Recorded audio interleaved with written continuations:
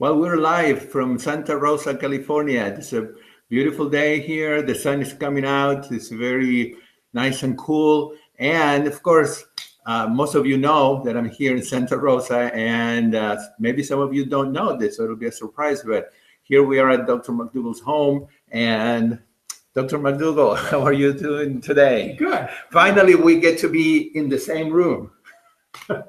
Could be better. not across the country like most weeks. I'm in Dallas, Dr. McDougall here in Santa Rosa. So today we're just going to have um, some uh, a really fun time where we have some questions that you all have submitted and that I have here, and uh, we'll try to get as many as possible. And I know, Dr. McDougall, that this week you're having a 10-day program. We are. In fact, I just finished a lecture. I was trying to get something here. Anyway, I showed you this. I sent all of you this notice. If you if you take a look here uh, about uh, about this guy we talked about it a couple of weeks ago. it was uh, a guy named Sasim Malhotra, and he uh, uh, is part, part of a member of the National Obesity Forum. Think I'm talking about that? Uh-huh. Okay. National Obesity Forum, which I told you was funded by the British Meat Nutrition Education Services, three pharmaceutical companies, a diet company, and I labeled him as Dr. Lard of the United Kingdom. Mhm. Well, subsequent news, and I tried to find it here, maybe I can find it a little bit later. The subsequent news is that uh, there are eight members of this uh, uh, uh, this National Obesity Forum, so-called charity. Yes, Four- charity. Four them quit. Four of the eight members quit after he put out this notice. Really? Yeah, so I, I, uh, I, I, I couldn't get that up fast enough to show you, but if you look it up, Uh-huh. you find that this uh, National Obesity Forum, which made worldwide headlines with the article through The Guardian, worldwide headlines to say that it's okay to eat. In fact, you should be focusing on meat and dairy and eggs. You should stay away from those carbohydrates. You know, Of course, they mean they mean sugar, but they're not going to Right. specify simple sugar. They just give you the broad implication that you're supposed to stay away from uh, rice, corn, potatoes, and so on. Even though if, they- if you stop them on the dime, they won't admit that. Right. So anyway, I, I, I- I made this, I think it was two or three, uh, uh, Yes, just, just a couple ago. of, yeah, no, probably and I sent it out to all of you uh, who are on the, on the, on the mailing list. And just a few days ago, Jeff Novick, our, our dietitian who's always on top of these things, sent me a notice that uh, once this recommendation came out through the Guardian about the National Obesity Forum charity, Charity. charity run by the uh, you know part of the meat industry and the drug companies that of the eight members of this charity four of them quit on a protest so you know there are some people that, that you can take them to the limit Right. and they just won't take this dishonesty but uh Malhotra, you are Dr. Lard of the two. United Kingdom. And and uh, he thought it was a joke. Actually, said somebody sent him my mailing. Thought this was some kind of Right. Uh, insignificant person who was just doing a blog someplace. But uh, the word got out to, Oh, to millions out. of people. You are Dr. Lard of the United Kingdom. And you share that with Dr. Lard of the U.S., which is Ronald Krauss, who's the uh, head of uh, Right. atherosclerosis at Oakland Hospital in Oakland, California. Uh, there are a few more Dr. Lards, like a guy named Tim Noakes in Australia. hmm Uh, there are a few Dr. Lards out there. Oh, I'm sure each Ladies and gentlemen, stand up and put a banner across your chest. I'm Dr. Lard. Because I put a banner that says I'm Dr. Potato, Right. or, uh, or I'm Dr. Carrot, or I'm Dr. Vegetable. I'd Mm-hmm. be proud of it. But being proud of being Dr. Lard and promoting uh, uh, the uh, factory farming and the, uh, the destruction of the planet and killing of uh, thousands of men and women and children, wear the label Wear the label. because you deserve it. Be proud. I was going to be calmed down today. I already gave one lecture at the program. I was we gonna, supposed to be calm down. I was supposed to be nice and quiet That's right. You and my usual submissive I, self. don't- didn't you say that I bring out the best in you? I'm not doing a good job. Yeah, you kind of, kind of, kind of, kind of, kind of keep me quiet. Yes. So just just tell us a little bit about how the 10 day program is going. This Oh, week. let's see. We have about. Were you there this morning? Yeah, I was there this morning. We have uh, about uh, 45 people, hmm and uh, Dr. Anthony Lim, who's uh, our our new doctor there. who's, uh, Right. you've met him a few times. You're going to have him on the show. In a couple of weeks, yes. I think he thinks that this is the best week that he has uh, uh, every couple of months. So uh, he's there and taking phenomenal care. Tiffany told me, I have to tell you, Tiffany told me, uh, and I didn't know she, Tiffany's my, my main assistant. Mm-hmm. And, uh, you know, she's usually very, very polite and quiet and candid and so on. But she told me just a couple of days ago, she said, you know, Dr. Lim's just a lot more nicer than you are. He's, he has added so much to the program because I'm, I'm kind of like that straightforward person. You come up to me and you ask a question, I'll give you an answer. I don't mean to be mean, but I just, uh, you know, I, I just don't have a lot of time for small talk. And Right. I'm not that kind of really soft and personal type of person.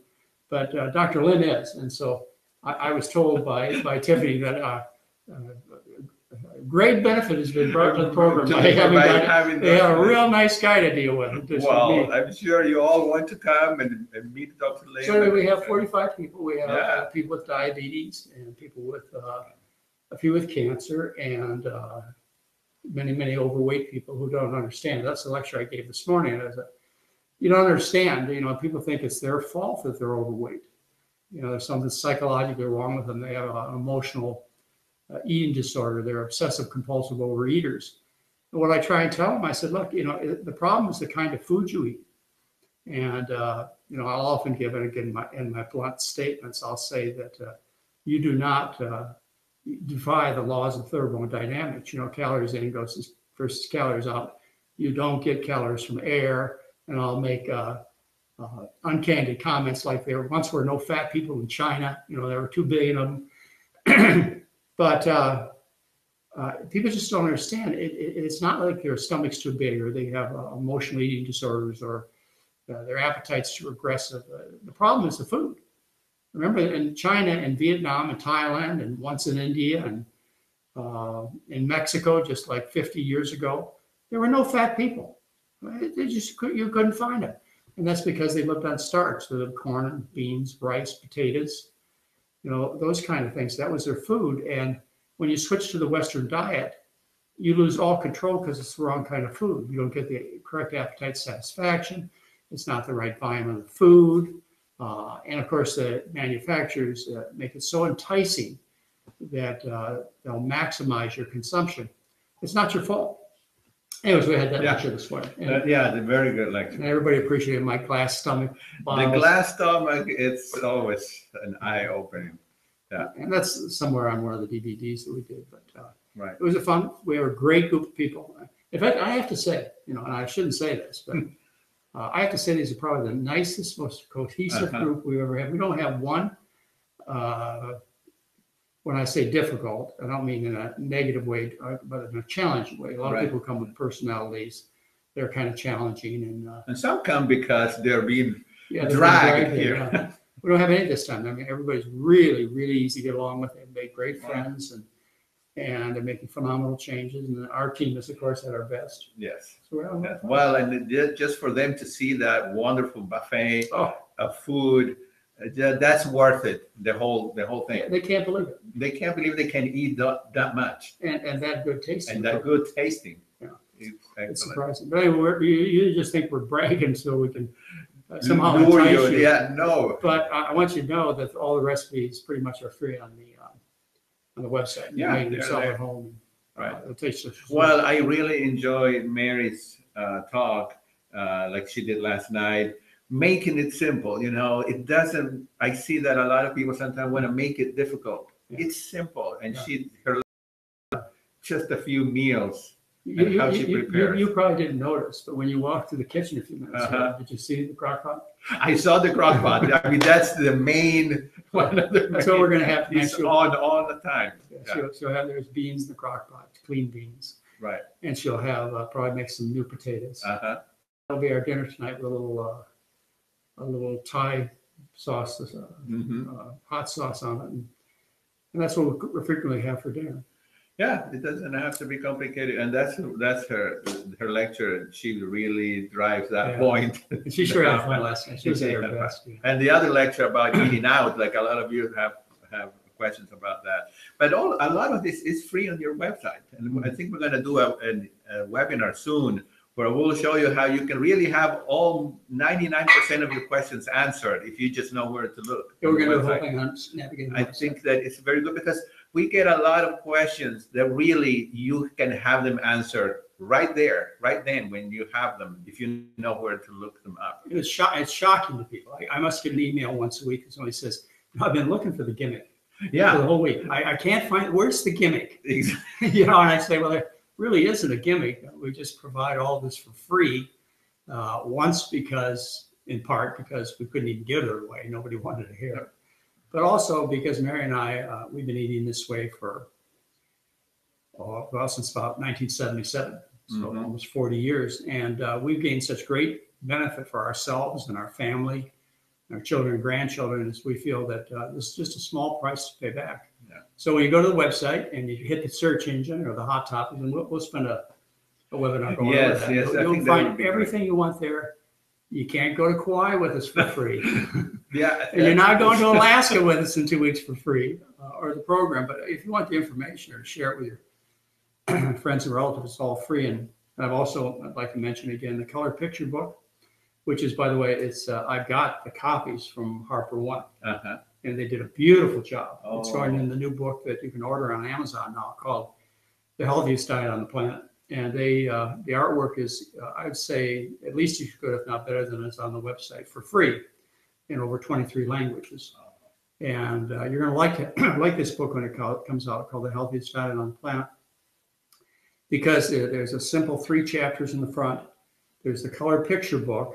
And then Mary has, I don't know how many recipes, but some of them, it's the first time she's done uh, recipes in color and pictures. Oh, So it's going to be a unique book. I, I was worried when we first started this project. In fact, I wouldn't do it until they agreed to put the color picture book in. I was worried that uh, it wasn't going to be something we were proud of and, mhm. really excited about. But we have now like 13, this will be our 13th book out.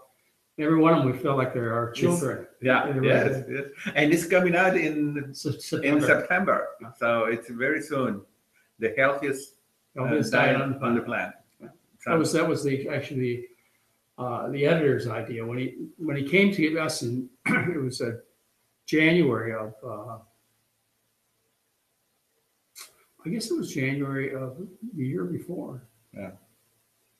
We were working on that one anyway. Yeah, he he had this title in mind. It was going to be the healthiest diet on the planet, and I had in mind that I wanted to publish. I think it was 2015 January, and I wanted to publish my color picture book. And so we had, he had his thought about what the title should be. Yeah, I didn't really care. It sounded good to me. And I, I knew what I wanted in it. And it took us six months. Oh, no, it was, it was January 2015. It took us six months to agree that we were going to do a book together. And thank goodness he was such a, a, a really smart and persistent man.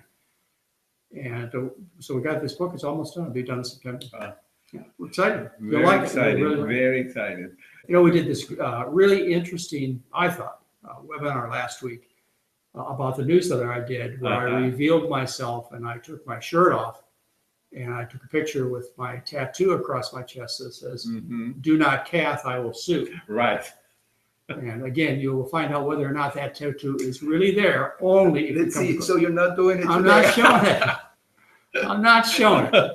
But uh, it, I, you know, it, people got really excited about that, and they all gave me great well wishes Yes. for my recovery. It's, last year was a tough year for me, but I'm back, and uh, uh, I, I made I made a couple errors. I told you, or the first thing I was concerned about is that everybody was focused on me and my health and my tattoo. Yes.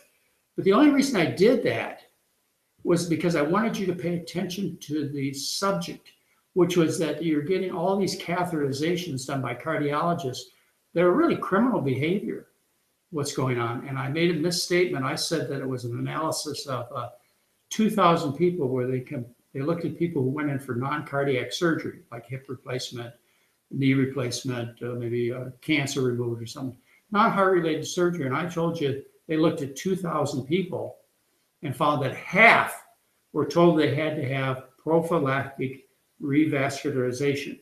In other words, they had to have their heart fixed before they fixed their knee. I was wrong. It was 200,000 people they looked at. And half the people who were scheduled for major non-cardiac surgery were first to for, were forced first to have their arteries in their heart repaired. And the American Heart Association and the American College of Cardiology have objected to this kind of behavior since 2007. That's what I want you to focus on. And I also want you to understand that if I just walked up to you on the street, I could tell what the chances are of finding significant lesions based on your age and cholesterol. If you're my age, nearly 70 years old, you have a 91 chance, 91% chance of finding significant blockages. You know, if your, if your cholesterol was what mine used to be, which was 338, you have a, if you're less than 40, you have a 91% chance of having significant blockages. In other words, you are a customer, you don't even know it. And these, these cardiologists are doing operations that are unnecessary and condemned on you. I had one cardiologist object uh, to what I had to say. I said I was wrong, exaggerated, foolish, whatever. And I invited him to come on uh, on the discussion board or maybe on the webinar and to straighten me out and tell me tell tell the public what the truth is. Uh, ladies and gentlemen, I gave you all the research. All you have to do is click on the link and you can see what's going on to you and your family. You know, so get over my tattooed chest, get over my thin, half naked body.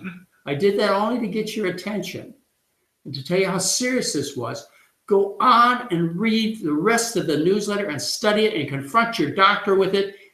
And, you know, get ready to save yourself and your friends and family from what's going on.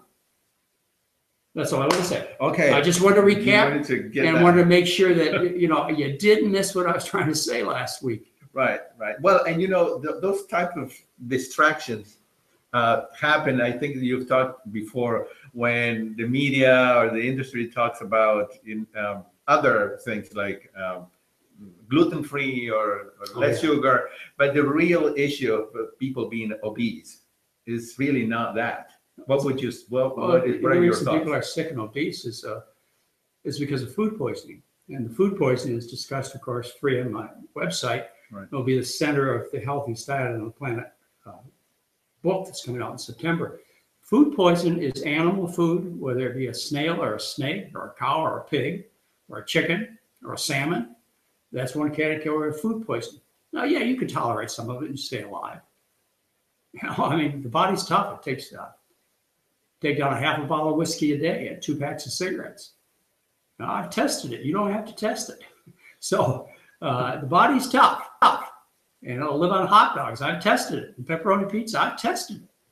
But uh, if you need to get well and you want clear definition as to what you're supposed to do, one category of food poison is animal foods. Just leave them alone. And the other category is vegetable oil. Leave it alone. And what that's left with you is the traditional diet of human beings. I don't know. whether- I, I, got, I got corrected on one other thing last week when I, and I do appreciate your corrections. I mean, I try as hard as I can. Told you I never lie, but I do make mistakes. If somebody wrote me, you know, I've said that uh, of the 10 billion people who walked on planet Earth, that over nine and a half billion of them lived on starch-based diet. And somebody wrote me about a professor who actually calculated the number of people who've been born on planet Earth Uh huh. and it was an interesting and maybe true. And I just throw it out to you just for fun because maybe I learned something. He said, based on his calculations, which he did, and he's a professor type guy, he said that there have been 100 billion people born to planet Earth. Yeah. Really? So that would mean Wow. less than a half a percent have lived on the rich Western diet. The other 99 plus percent have lived on primarily a starch based diet. Right. So, it, I mean, it, it- the diet that I teach you is the traditional diet of people. You know, I don't teach you a vegan diet. I mean, it is a vegan diet, and I follow a vegan diet. Um, but what I teach you is that the bulk of your food comes from starch, like rice, corn, potatoes, beans, peas, and lentils. Yeah. Yeah. So what what about people that are really into this is a big topic now in, in several of the McDougall uh, Facebook Uh-huh. pages and people talking about and being confused about smoothies. You know, Oh, yeah. and I mean, is it really better to eat the actual fruit that's the way it comes? And what about smoothie? Or, or is it does it matter if you're trying to lose weight or if you're not trying? What what are your thoughts about smoothies? Well, I think the simplest way to say it is you don't improve the quality of food by beating it uh, 10,000 times with a steel blade. Uh, we know, for example, if you check uh, blood insulin levels and uh, blood sugar drops that occur, if you take somebody and you feed them an apple and you watch their blood sugar go up, it just goes up a little bit and then down a little bit, and their insulin levels just go up a little bit. If you take that apple and you put it in a blender and make applesauce, then the blood sugar levels go up just a little bit, but they go down a lot. And you produce a lot of insulin because you've Mhm. disrupted the fiber. Right. And then if you make apple juice, in other words, you take the pulp away from the the uh, the juice, which is just sugar and water, then the blood sugars go up and they go down a lot, and the insulin levels go way up. So you change the quality of the food when you damage it like that. Is that a big deal? Probably not for most people. I mean, I I personally don't drink juice. The grandkids drink juice. You know, I think healthy people they'll do just fine, but uh, it's it's not a matter of getting. Uh, I think the reason people juice is they juice so they can get more nutrients out of their food. You don't need no more nutrients. You don't need more calories, which you get when you juice the food. You know, the problems are not problems of uh, nutrient or calorie deficiency in our societies. They're problems of excess. and so the reason uh, carrot juice tastes sweeter than carrots is because you've disrupted the cell fibers and you've let the sugar out of the carrot. So it tastes sweeter. Right. And you're going to consume more calories, uh, have a higher insulin rises, and insulin pushes fat into fat cells. So it's going to be harder for you to lose weight. But again, I, I don't think you should make a big deal out of what I'm saying. This is a minor issue. Uh, if you're having trouble losing weight or you have low blood sugar reactions or things aren't going the way that they should, I mean, do consider un, undamaged food is the way it was supposed to be consumed, you know, just with the, the breaking apart with the teeth, not grinding it with a, uh, with a blender. But, but, but, you know, the general story, which is uh, the food was designed correct and people are designed correct, and the bulk of the calories of uh, essentially all civilized populations has come from starch. I mean, those are basic truths that I'm confident that there's no argument against. Right. And another truth is that it's much easier to, I don't know, drink five apples Oh, yeah, yeah. than to eat them. Oh, yeah. So It'll you take will more definitely take more calories. more calories, more simple sugar, release more insulin. Even though that sugar is very difficult to turn into fat, human being is very inefficient at converting sugar into fat. It can, but it doesn't do it very efficiently. Uh, Right. Cows and pigs, they're, they're pretty good converters, Mhm. but they eat all the time too.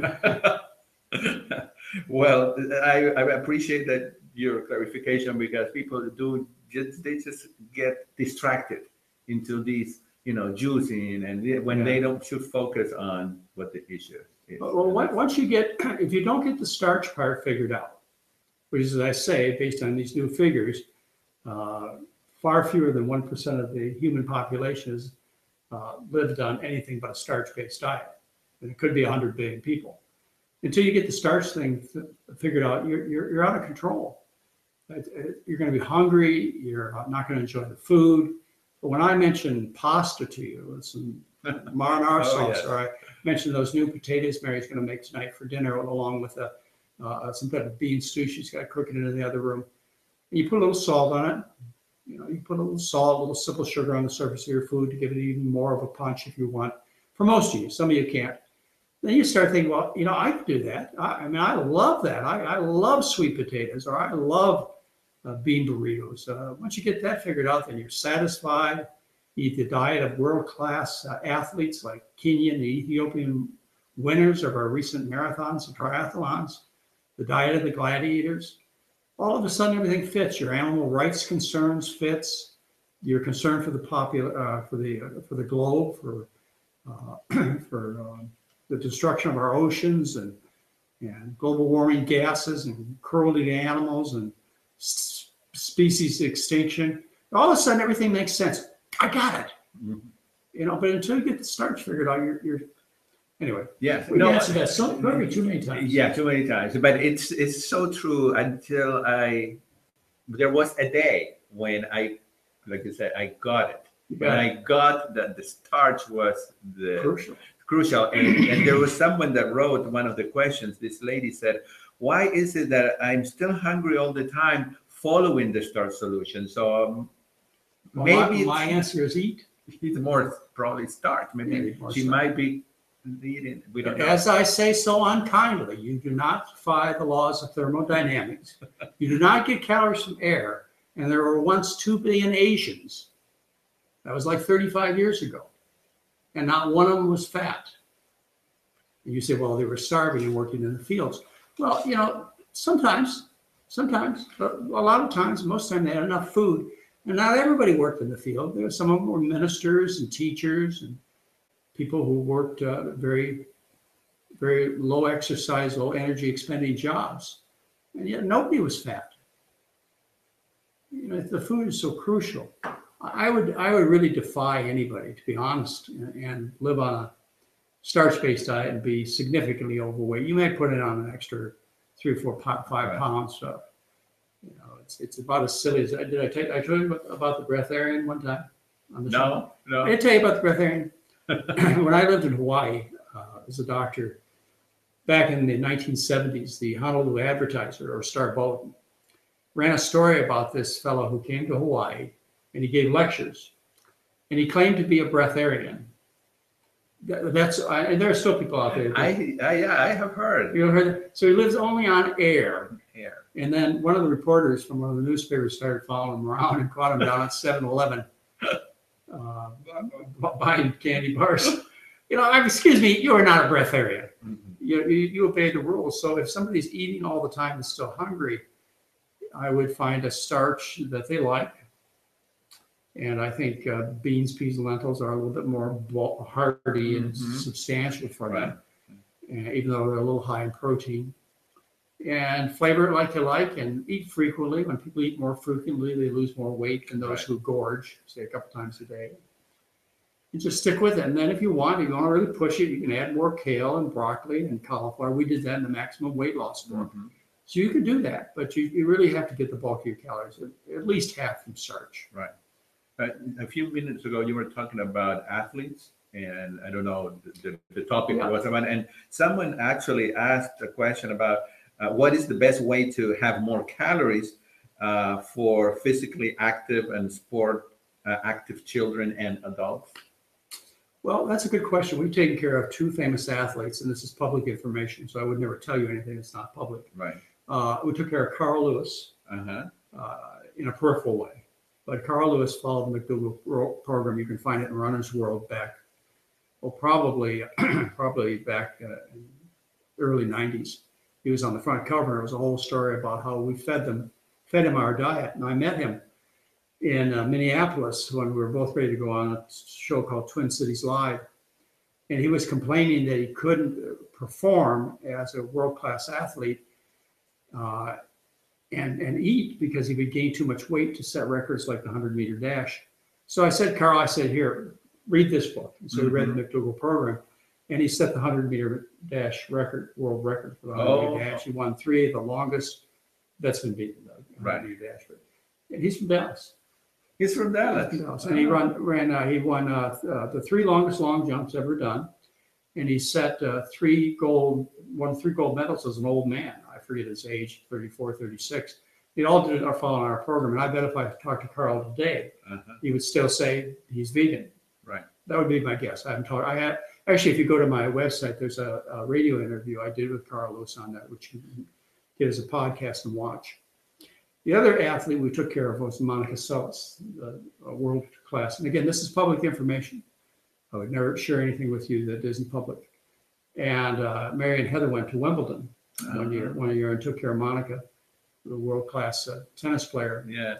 And uh, everybody noticed how much weight she lost and how good she looked. And, But these athletes, they do need to to pack a little, a few more Yeah, calories, how- right? The answer was, how do they do it? Well, what we did with, with uh, both of them was we added uh, more simple sugars to the More simple you know, sugar. more juices, uh, more, you know, actually real simple sugars to get more calories And That was the point of your question. Uh, And so that's what we did because, you know, just like if you're a runner, you get these uh, runner's drinks. mhm.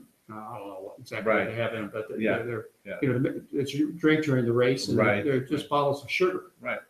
And, you- and so I, I actually, for some of the athletes we've taken care of in the past, I actually made up a special sugar formula for them for during their event so they can get it. And, and this is the routine athlete type of behavior uh, is when you're in endurance events like a tennis match or a bicycling event, is they take sugared water preparations or sugar bar preparations along to regenerate their energy and their glycogen, replenish their glycogen stores. Mhm. So yeah, they do need extra, uh, What- extra calories. Uh, So uh, what about nuts and seeds? Well, Not then you're so getting much? something that's ninety percent fat. Okay, Uh, you're getting a high source of energy, but then you've got to you got to utilize that fat, and sugar is so much more efficient yeah, uh, at uh, at powering the muscles and the machinery than fat is.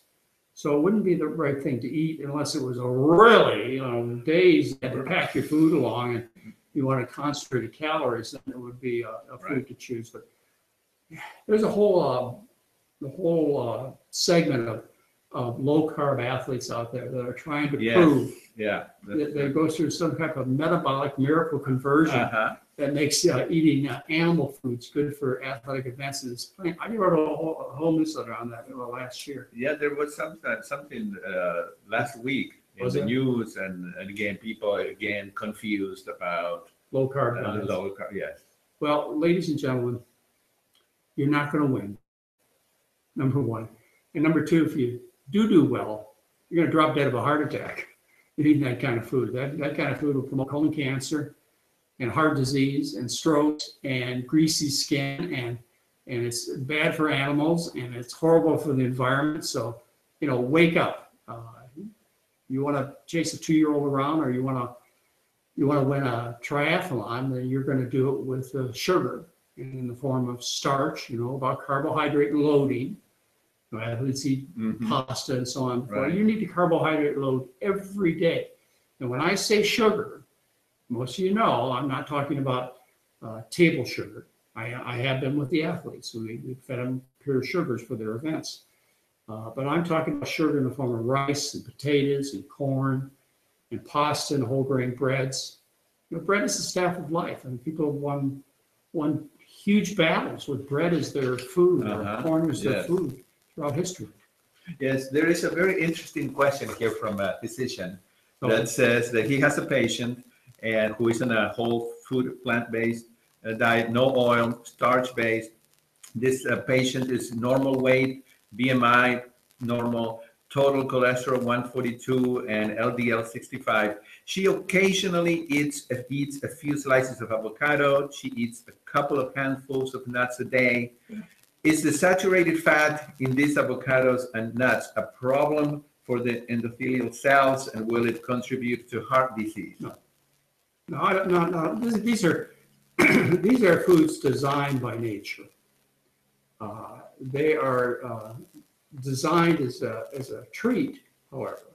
You know, avocado trees really only come in bloom one week a year. Right. And nuts likewise, I mean, they do. Now we have them Yeah, available they're just so available. all the time. So I, I don't think they will uh, enter, uh, enter your arteries. I wouldn't put you on a, a high, not high avocado diet if we had some serious circulatory problems Right. because that fat will, uh, make your blood, uh, thicker, uh, more adhesive. Uh, it's not really what you want to do for maximum healing. If you need something, you're too thin. You know, it's a, nuts and seeds and avocados would be good foods. And if like this woman, she's very athletic and she needs more easily accessible calories, or like children. You know, children are running all over the place, and to give them peanut butter and jelly sandwiches, no butter, clean peanut butter. Right. You know, I don't, I don't think you- you're talking about a, uh, a really negative thing that doesn't have some significant positive factors. Like it's a lot easier to get cal- calories into high burning people like kids and athletes by feeding, say, nut butters and, and Uh-huh. things like that. Right. right. The um, eating, you know, a starch-based diet, like you promote in the starch solution, does that affect the body's acid slash alkaline balance? You know? It does. Yeah. It does. Uh, uh, there are a couple things that you know, make it a little complicated. There's something called the renal acid load. And uh, it's a way scientists calculate how much acid is brought into your body based on various foods. So what, what happens is, uh, is acid is brought into the body. The body is slightly alkaline. It's got a pH of 7.4. 7 is neutral. So it's slightly alkaline. And when you eat acid foods, what happens the body has to neutralize the acid. Well, the real acid foods are the animal foods because they're full of protein, which is made of amino acids. And they also have amino acids that are sulfur-containing amino acids, like in methionine and cysteine, and they convert into sulfuric acid. So what you, happens when you eat hard cheese, for example, it's the most acidic of all foods. Uh, uh, fish and uh, meat and chicken and shellfish, they're all very highly acidic. Now, grains and legumes, because they're high nutrient foods, uh, they're designed to, to make a new sprout, a new plant. So they're very nutrient dense foods. They're also slightly acidic. They get an acid number of one, whereas uh, you know uh, cheese is ten times greater. So you do take a little acid with grains and legumes, but enough for the body to handle. So you don't see higher rates of uh, wrist and hip fractures, say among Japanese. We're talking about times ago, uh, who eat uh, high rice diets. Right. But when you're taking an acid load of uh, chicken and fish and beef and pork and and uh, hard cheese and things like that, I mean, you're taking uh, an acid load that you can't handle. So your bones dissolve to release alkaline material, and that's how you get weak bones, osteoporosis, and that's how you get kidney stones. Right. So really, the uh, as a physician, when you see someone with a high acidity level in the blood, it, what does that? Well, you don't see that. You don't see. No, not unless they have kidney disease. Uh, or you gotta be really sick. Otherwise, because the pH is so carefully guarded in the body, uh, uh, to be at a level of seven four, you gotta be in terrible respiratory distress, you gotta be in Uh-huh. kidney failure. So you don't see any changes in the blood. You do see it in the urine. So if you check somebody's urine, and I haven't done this in a long time, but you can do this. You can see they, they give a pH level. And you can get an idea of how much acid they're eating because the acid comes out in the urine. Uh, But you're not going to change the pH of the blood, not in any healthy person. oh, I see. But you will change the pH of the urine. Okay. Wow. But I, I don't recommend people go around checking their urine. Yes, you should be on an alkaline diet because it's the diet of humans. Yes, the McDougall diet is an alkaline diet. hmm Uh, you make uh, the like this uh, the uh, dish that Mary's making right now in the crock pot. The beans will be slightly acidic. They'll be at about a level one. But the new potatoes that she's making are minus five. So it will. So when you mix them together, you know, you turn out with an alkaline diet. Plus that acid load in the beans, peas, and lentils, it's something the kidneys can't handle. But when you get up uh, with, you know, say fish at nine and, you know, chicken at six or beef at seven or cheese at 10, yeah. you're, you're, you're dumping an acid load in your body you just can't handle without buffering the bones. Right.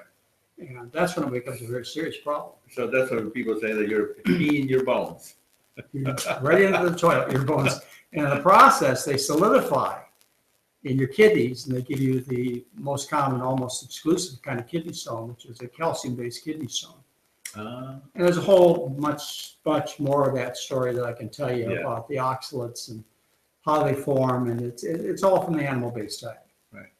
So, uh, since you mentioned osteoporosis here, someone asked, uh, what plant-based foods are best for osteoporosis? Is it important to combine certain fruits with veggies for better absorption? Well, I, I would focus on, uh, on your more alkaline vegetables like spinach, I think is minus 50, 53. Anything minus is Yeah, it's good. alkaline. Yeah, So, yeah, there's, there's some reason to do that. Uh, there's some reason to eat potatoes, and sweet potatoes, which are alkaline, as opposed to grains and beans. and is there, are you aware, is there a website or somewhere where people can find what the numbers are? Well, you can, it's in the American Journal of, uh,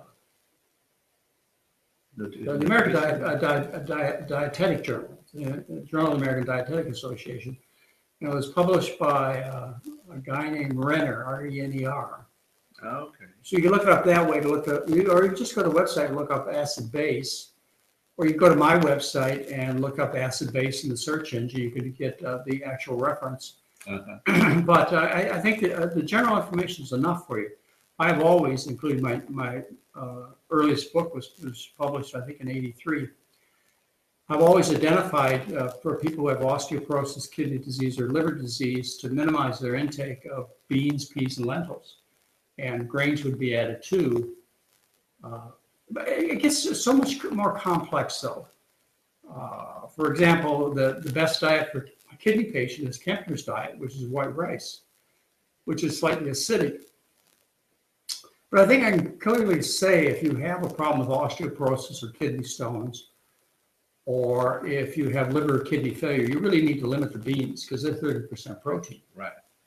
And otherwise, if you're healthy, I usually recommend a cup a day maximum. That's a lot of beans. Right. It wouldn't, be- would you say that it wouldn't be advisable to eat uh, three, four cups of beans a day? Well, that's, or- that's the problem. That's why I put that recommendation in there is because some people would look at uh, the program I put together, which was, uh, as I say, it was in, well, 1977, I put it together. Uh-huh. And um, they said, boy, I, I really like those beans, so I'm going to have, I'm going to have uh, uh, beans, beans and tortillas for breakfast, and I'm going to have a pea soup for lunch, and I'm going to have uh, uh, bean burritos for dinner. And you know, 70% of their diet is beans, and that's 30% protein. And you only need maybe three to five percent of your calories as protein. And so you got 25% extra protein. You got to dump the protein. It's got to be dumped through the kidneys, and it, it just puts an extra Right. workload. But again, don't, you know, don't overread what I'm saying.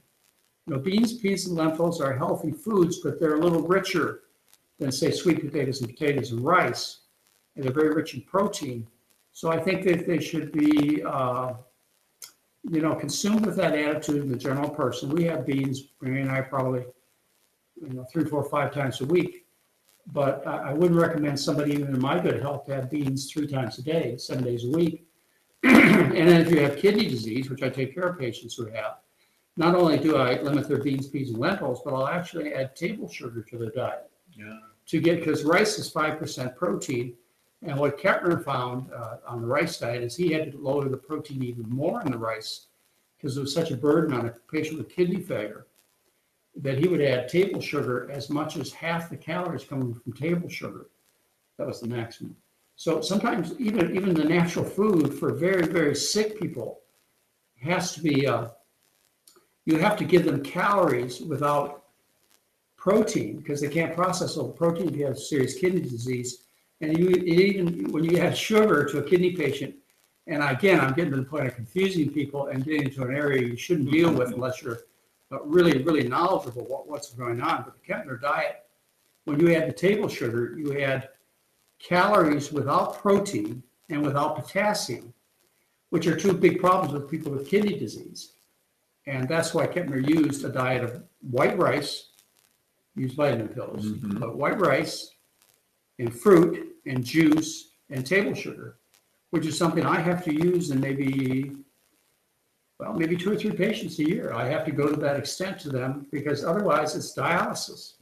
And they can often, they can often prolong their time away from dialysis and know it's worth it to them. That's a tough life being on dialysis. Oh, I, I cannot imagine. you could just imagine, even if you, if you have dialysis and you go for a kidney transplant, you're asking a friend or relative to give you half their kidney function because they just gave you one kidney. And standard recommendations in the business of kidney disease is to teach the donor to cut way down on their protein intake to preserve the remaining kidney mass, which is half their kidneys. So not only does the recipient of a kidney transplant need to eat a low protein diet so that they can preserve that donated kidney, the donor is also officially told by kidney doctors to eat a low protein diet. Now, when I say officially told, it may be mentioned. Or, you know, Not probably not, but they're supposed to tell both donor and recipient that they need to preserve their kidney function by eating a low protein diet. But uh, what they usually do, I have to tell you from my experience, which fortunately has been limited. I've been away from dialysis rooms for a long time, but it's uh, the diet kidney dietitian or doctor comes in and says to the patient who fail, has failing kidneys, you need to be on a low protein diet. And oh, by the way, come on down and see our new dialysis machine. I'll tell you, ladies and gentlemen, it's not just cardiologists, it's not just oncologists, it's kidney specialists. It's across. It, it's, I mean, this is business. These people make their living from doing these things to you. You know, uh, that's their job. They're not trying to hurt you. They're not bad people. It's just business. And you need to be aware that it's business and you need to get the other side of the story. In other words, the risks and the benefits, and you need to get the food picture too, so that you can keep yourself as healthy as possible. Uh, I know there are a lot of professionals out there listening to this program, and there were a few cardiologists commented on my thoughts last week, but you didn't prove one of them wrong. You know exactly what I said was true. Uh, Right. I'm not trying to be offensive. I'm just trying to do my job as a doctor, which is to give you, my patients, and those of you who I'm a mentor to in terms of your medical business, I'm trying to give you my viewpoint, not only to protect you from uh, unnecessary treatments, but also to take advantage of the food. I've been told so many times here in my career, which I've been doing for uh, well, over four decades. The people have said to me, they come up to me and say, Hey, McDougall, why don't you just keep to the diet stuff and stop talking about the heart disease and the cancer therapies and getting laws passed against doctors doing unnecessary mastectomies, which I did back in 1982. And getting a law passed in California that makes doctors learn about human nutrition. Uh, Why don't you just do your food thing and just kind of leave the politics and, and, and leave our businesses business. alone, you Yeah, know, You business. get real. But I haven't been able to do that because, uh, you know, when I became a doctor, as I know all doctors did, they did it to help people. And I just couldn't see them as two separate issues. One teaching you how to eat well, and the other to tell you how to avoid unnecessary harmful procedures, uh, like mastectomies and like uh, uh, uh, cardiac revascularization in people with chronic coronary artery disease.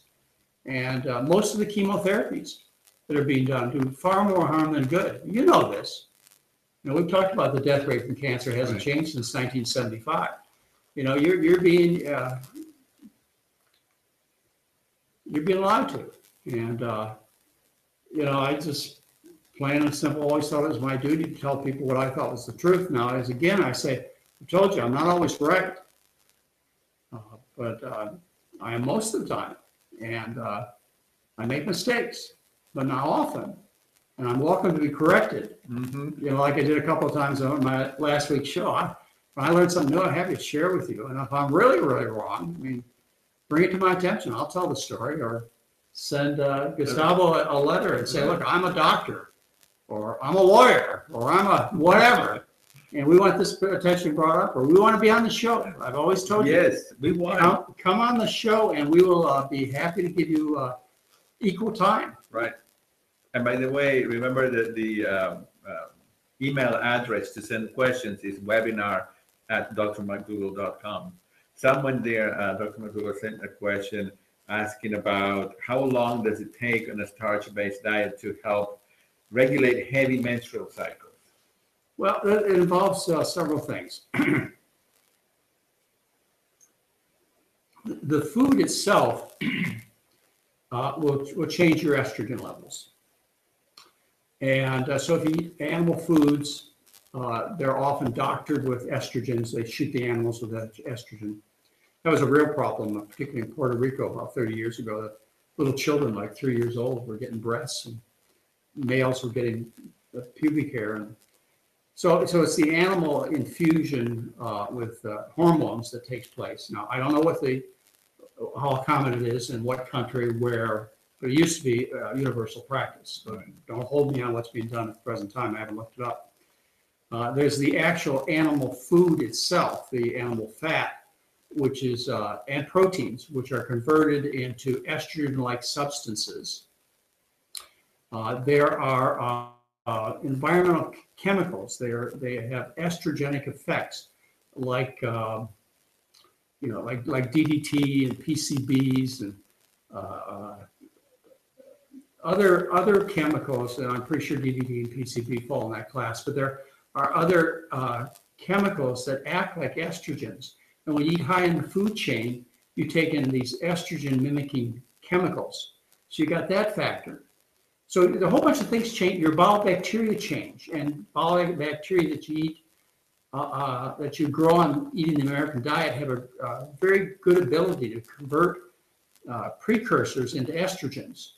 And the plant parts, they actually block estrogen from being absorbed into your system.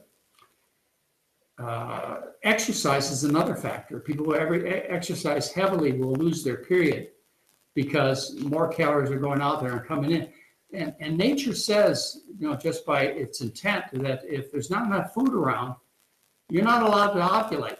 And so you're not allowed to have periods. That happened, uh, you know, during starvation situations around the world. Uh, World War II, people were in prisoner war camps. The women stopped menstruating because there wasn't enough food. So the body said, uh, no food, no eggs, no babies. So, uh, in answer to your question is the, was when you change your diet, things change pretty quick. And as you lose the weight, you stop making estrogen in your body fat. Your body fat cells are little estrogen factories. So that may be involved in the timing of, of of when the periods become lighter, less bleeding, and they become more far apart in the month. Instead of say being 26 days, they become 28 days on a healthy diet. So that may involve a lot of different factors in terms of bowel bacteria, kinds of foods, body weight, and so on.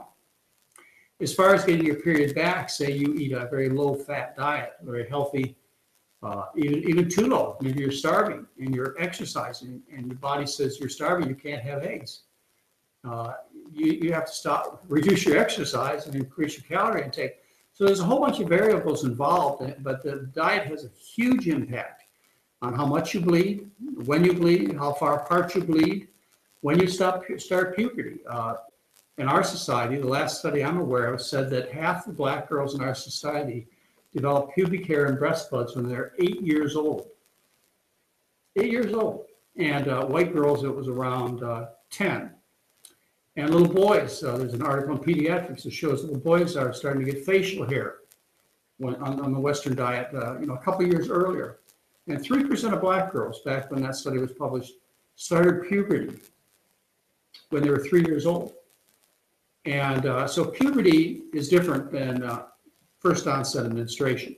Puberty is when you get breast buds and pubic hair growing, and, uh, and uh, you know, your first menstruation is when you bleed.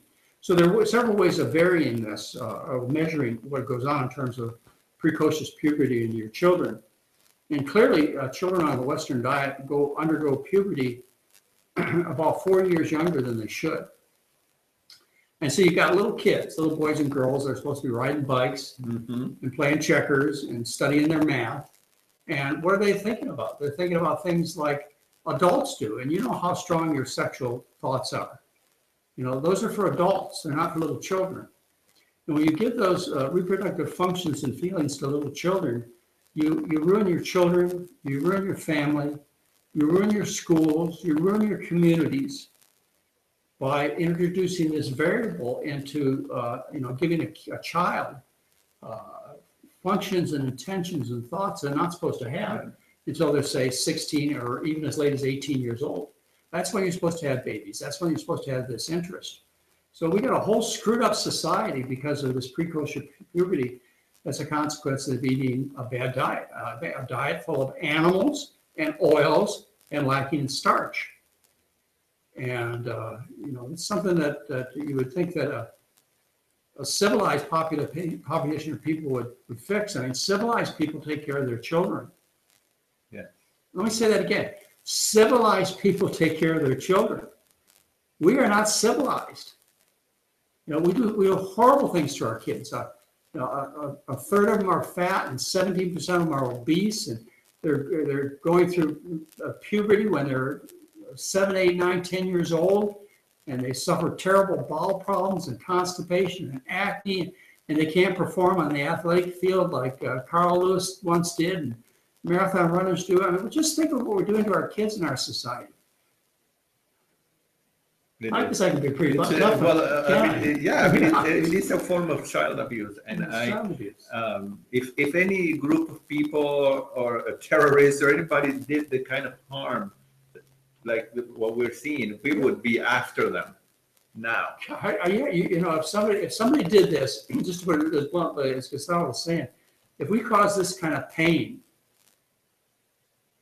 I'm talking about stomach pain, early menstruation, deforming acne. If we cause this kind of pain to people with a stick, we put them in jail. But because we do it with a fork and spoon, it's okay. Okay. And because policemen and school teachers and ministers because they do it to their children, it's okay. But ladies and gentlemen, it hurts just as bad for those kids to be harmed with a fork and spoon. And just because nice people do it doesn't make it right. You know, it, it just amazes me that uh, most of our listeners out there are in the same kind of disgust, anger, and protest that I convey. But it's really that serious, and we must get the message out to stop this terrible harm to ourselves and the world and other animals and planet. And I mean, this is not business that should be talked of lightly, or at least you will not find me talking of it lightly. Uh, it's everything to me. And it has been for 40 years. And that, that's one of the reasons people object to me. Is, you know, and why they say Dr. Lim is so nice. He sounds such a nicer guy than I am. I'm not a nice guy. You know, plain and simple, I, I don't intend to be cruel or, or unpolitical. It's just my nature. And, you know, when I think of something, I don't have time to couch it in comfort for you. Uh, there was, a, I, I told you all, I think a couple of weeks ago, that uh, uh, the, the hairdresser where I go get my hair cut, Uh-huh. one of the ladies uh, who's a vegan, just for, for vegan reasons, she has a, a big, big sticker on the back of her window that says, uh, if you'd like to become a, a vegan in four, four hours and, and 50 minutes, this is what you do. You watch Four Oh, Children Nights, Yeah, then you watch uh, Cowspiracy, and then you watch Earthlings. Right. Ladies and gentlemen, I tried to watch Earthlings one time. oh, I couldn't get through it. no, you You know, can't. I mean, as much as, as hardened as I am, I couldn't watch half the movie. It was just, just so unbelievably. Uh, Cruel, I mean, Yeah. it's, it's but, but, but, disgusting. but it has made a huge difference. I mean, any of you who have friends and relatives who are just, you know, big macho killers and meat eaters and so on, hey, I can't watch it with you, but just sit down and watch Earthlings. Right. You'll realize what we're doing and, and how true it is and harmful. Uh, Dr. Monroe, we're getting, getting to the end of our webinar here, but I'd like to ask, this is a question from me. Okay. If you had all, I don't know, ten million dollars at your disposal or more, what kind of research would you like to see done in what area? Uh, if I had ten million dollars or more, I actually had a million that I Yeah, spent on right. RMS research. Uh, I would do nothing. I would do no research at all because all the research that needs to be done has been done. Now, ask me a better question. What if I was king? You know, what if I was king? Okay, what if you were king and I had a chance to do whatever I wanted. in your kingdom? What would in you my do? kingdom. Well, I, would- I would introduce uh, the, the changes that are long overdue. Uh, I would uh, stop, I would stop break coal. I don't care whether they have to drive taxi cabs or whatever they have to do. I would stop the unnecessary chemotherapies. I'd stop the unnecessary mutilating cancer surgeries. Now realize there are some of these things that are good, so don't, don't get me wrong. There's, there's some good things in these, they're just really small in number. I'd stop the unnecessary catheterizations and heart surgeries. I would force schools to serve proper food in schools. I would force dietitians to tell the truth. I would force physicians. Hey, I'm kidding. I was pretty good. I'm pretty good at this. I, I would force I would force physicians to teach patients who had dietary diseases that their diseases were caused by diet, just like I did with SB 380. When I wrote that law in California back in 2011, I, I'm not supposed to say I wrote it, but I did. And it was unanimously passed by both houses of our legislature in Sacramento, California, Uh-huh. and was signed September 11th by 2011. September 11th, 2011 by Governor Jerry Brown. We have a law in, in California that says doctors must learn. Well, we have 11 medical schools that do not teach about human nutrition in California. And that law, you can look it up, just look up SB 380 California. that law in 13 places in a page and a half says that we must teach diet and nutrition to medical professionals, but it's not been followed. It's been, and I we can go through some discussion about why uh, it it has been stopped and why I've just kind of given up on it. But I would enforce SB 380 so that all the medical schools in California had to teach doctors of human beings what human beings eat. And that at least half the medical conferences have to be sponsored uh, to teach nutrition, not by the drug companies. We could go on for We need another hour to, put- we need to put this in a document, call it Dr. McDougall. Dr. uh, McDougall is king. Kingdom. He is the king. And, and I know you have very good reason for me to, uh, to not talk this way and, uh, and I'll never be king. Well, a lot of people appreciate your way of talking. Very, you know, Well, straightforward. that's good, but you know, somebody has to do it someday. Somebody has to do it. As we, as we said, you know, I'm, I, I should be retired now. Oh, no. There's, well, you know, there, I, I never will because I have nothing else to do. But someday, it's enough, uh, men and women out there will stand up. And I told you last time why you don't do it, why the doctors don't stop this unnecessary heart surgery, why they're acting cowardly. And the reason is, is because they would be criticized by their colleagues. They'd be fired from the medical group. You know, a lot of patients would stop coming to them if they didn't do these tests and treatments on them. So I understand why you act this way, but it's not right. And, and I would never criticize you personally for acting cowardly and not standing up for your patients, but you are. You know, you are. And someday you may get in a position where you, uh, and some of you have, where you're willing to stand up and say, uh, this is the truth. I don't care what sacrifice that I have to make. Uh, we're going to get the truth told. Uh, you know, I, as I said, I never took an oath to support medical businesses, but I did take an oath to protect my patients, and so did all of you. And when you let this kind of behavior go on, these excessive treatments and tests, whether they be drugs or surgery or other types of, uh, of harm to patients, uh, I know in your, in your mind, you know this is wrong, and you'd like to do something about it. Just let's just hope someday you're able to stand up and say what you really mean and make the changes that are long overdue. Because I certainly haven't been able to. I've been able to say what I think, but I haven't made, been able to make the changes that I thought that would happen when people knew the truth. I mean, at one time mastectomy use went down. And at one time, people used to uh, warn against PSA testing. And, uh, you know, it used to be concerns about all the chemotherapies we gave, but those have kind of vanished in the, in the shadow of all the money. Mhm. And so there are more mastectomies done now these days, and, and more men are getting PSA tests. And I told you, angioplasty went, it started in 1970, 1978. First angioplasty was done, first 50 cases reported. And now in the US, there are over 800,000 done every year. And my guess is 90% of them are done unnecessarily. Even if you change your diet, just by the rules, 90% I guess are done unnecessarily. And if you changed your diet, well, maybe I'm exaggerating there, maybe it's 70%. But if you added a good diet on top of that, I bet it would be 90% and you wouldn't have to do. There's no motivation to do it. I can take you, maybe I'll take you on the way back to, back to where you're staying, I'll take you past our new hospital. We got a new Sutter Hospital, the biggest, most beautiful building in all of Santa Rosa. You know, it's just like when you go to Las Vegas and you go to the casinos. How they build those casinos? Right. Oh, what, what, what is this? They're going to give me all this money? Yes. yeah. You know, it's, uh, you go to India, you go to China, the biggest, most beautiful buildings in your town are cancer centers, heart centers, Mhm. hospitals. Because, ladies and gentlemen, that's where the money That's is. the business. It was a lot of fun. It was, and uh, if we didn't answer your questions, make sure you send an email to webinar at drmcdougall.com, and we'll have another uh, question and answer next week.